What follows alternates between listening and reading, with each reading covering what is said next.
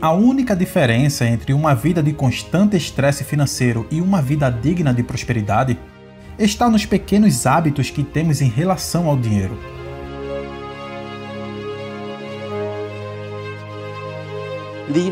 Se você projetar quanto dinheiro vai ganhar pelo resto de sua vida e calcular quantos anos você vai trabalhar, perceberá que muitas pessoas ganham mais de um milhão de dólares em suas vidas. No entanto, poucos se tornam verdadeiramente ricos.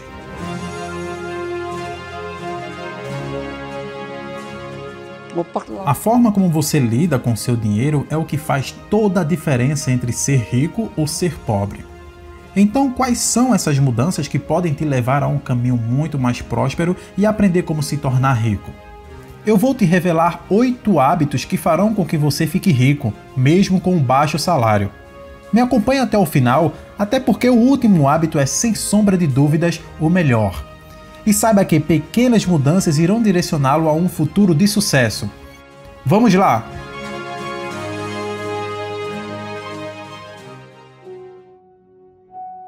Né? Os bons hábitos, especialmente aqueles que exigem muita disciplina, não são algo tão difícil para todos. Por isso, não existe um caminho específico para todas as pessoas. Por exemplo, economizar se trata de um hábito que depende do estilo de vida, personalidade e de objetivos de cada pessoa. E pode ser por isso que as estratégias de alguns pode ser que não funcione para os outros. Nesse caso, você deve encontrar entre seus costumes de suas próprias finanças pessoais distintas estratégias para adequá-las, dependendo da sua personalidade. Mas aqui no Topo da Mente queremos compartilhar quais são esses hábitos que todas as pessoas que conseguiram construir uma riqueza, mesmo começando do absoluto zero e com baixo salário, se desenvolveram ao longo de suas vidas. Hábito 1: Reorganize sua forma de pensar. Se depois de pagar suas contas, sua remuneração líquida parece ficar curta, é necessário aprender a destinar uma parte desse dinheiro para seu objetivo financeiro. Robert Kiyosaki disse: Muitas pessoas gastam o dinheiro, pagam suas contas e guardam o que sobra. Mas deveria ser tudo ao contrário.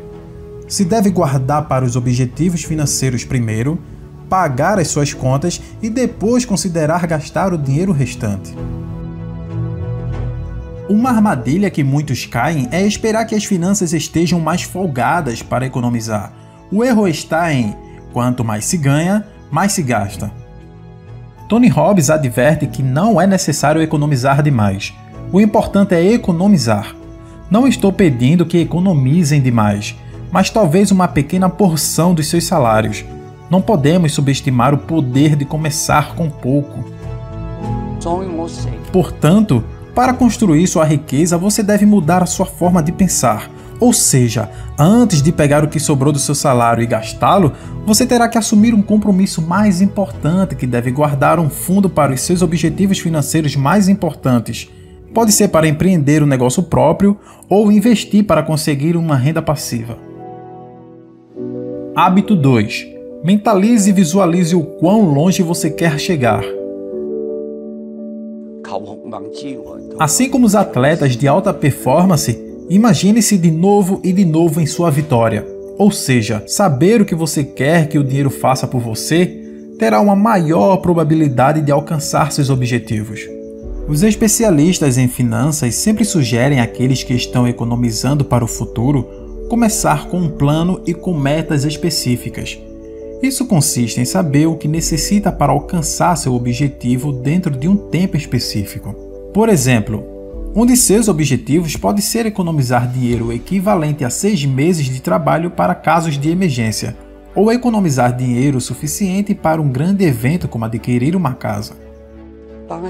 Cada vez que temos uma meta específica em nossa mente, isso nos ajudará a economizar melhor Pode ser para um fundo de emergência ou liberdade financeira, não importa o objetivo. Hábito 3. Crie seus próprios truques mentais.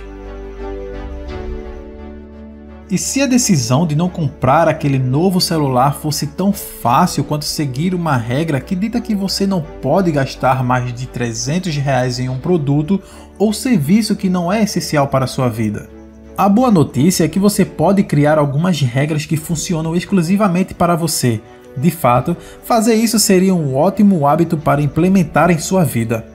Esses tipos de regras, truques e estratégias que implementamos para nós mesmos, como não gastar mais de 25 reais em uma refeição, 50 reais em uma peça de roupa ou comprar um celular novo se for realmente necessário, simplificariam bastante todas as decisões que tomamos a cada dia. De acordo com alguns economistas, implementar essas regras heurísticas podem ajudar a desenvolver bons hábitos econômicos. Hábito 4. Viva como se fosse um milionário em segredo.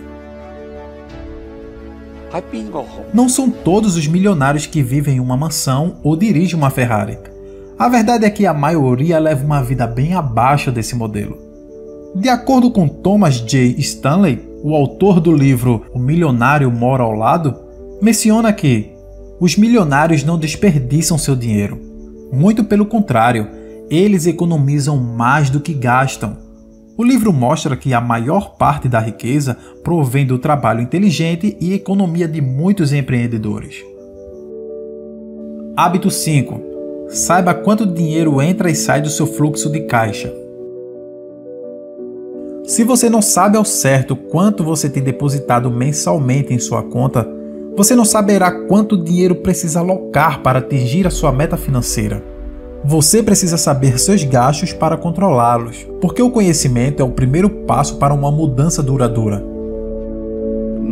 De fato, existem muitas pessoas que nunca usaram um registro de receitas e despesas. É totalmente chocante saber que muitos empreendedores nem mesmo checam suas contas bancárias. Logo, o resultado disso é o fracasso e a perda de dinheiro. Se você não sabe quanto dinheiro gasta em suas refeições em restaurantes e passeios sociais, como você pretende mudar? Você tem que se tornar o gerente financeiro do dinheiro que entra de seus fundos financeiros. Hábito 6. Faça o seu melhor para sair de todas as dívidas inadimplentes. Né? Certamente, todos em algum momento de sua vida tiveram que assumir dívidas. No entanto, se você é um daqueles que tem dívidas incobráveis como as de cartões de crédito que você está pagando altas taxas de juros sem medidas, sua prioridade número um deveria ser sair delas e, em seguida, mudar esse mau hábito de adquirir dívidas ruins. Bem, logo depois de pagar todas as suas dívidas, te sugiro ter apenas um cartão de crédito. E você deve chegar a um acordo consigo mesmo ou com outra pessoa que seja importante para você, onde você se comprometa a usar esse cartão de crédito apenas em momentos de emergência. Hábito 7. Aumente sua renda. Existem duas maneiras para que seu dinheiro cresça, que é aumentar o dinheiro que você economiza ou gastar menos. E gastar menos é apenas parte do processo, já que você tem que economizar e avaliar o momento apropriado para investir esse dinheiro economizado. Logo, ganhar mais dinheiro não significa que sua renda aumentará, pois seu estilo de vida tende a nivelar com a sua nova renda. No entanto, se você aumenta a sua renda e decide nivelar suas economias, ao longo do tempo sua riqueza vai se acumular ainda mais. Um bom conselho é diversificar suas fontes de renda procurando um trabalho em tempo parcial. Pode ser fazendo algo que você é apaixonado. Hábito 8. Considere educar-se constantemente. O aprendizado diário é um dos maiores segredos das pessoas bem-sucedidas. Cada segundo da sua vida importa, não só a sua vida financeira, mas sua prosperidade em tudo que você possa imaginar é sem sombra de dúvidas definida pelo quanto você consegue aprender durante a sua vida. Pessoas de sucesso estão em constante aprendizado. Você precisa ter esse desejo ardente dentro de você, essa vontade de crescer todos os dias e reconhecer que cada segundo da sua vida importa. E hoje em dia, com esses materiais de educação financeira, é totalmente possível ficar rico a partir de um salário mínimo. Tudo depende da sua capacidade mental para transformar seus maus hábitos em estratégias que te levam à abundância.